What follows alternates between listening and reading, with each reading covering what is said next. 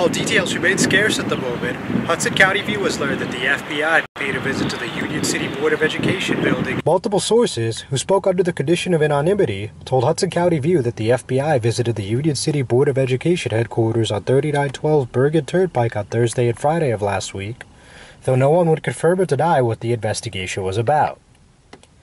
Back on March 31st, Johnny Garces, a former Union City Board of Education trustee, pleaded guilty in U.S. District Court to causing $400,000 in losses to the Union City Community Development Agency by rigging the contractor selection process. Garces worked in the CDA department of Union City City Hall until about a month ago, resigning days before his guilty plea.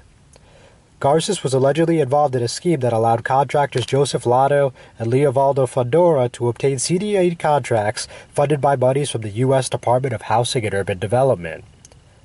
Union City Board of Education spokesman Joe Loro declined to comment, while multiple employees from the FBI press office also declined to comment when reached by Hudson County View. I'm John Heinis with the Hudson County View, the eye of the community.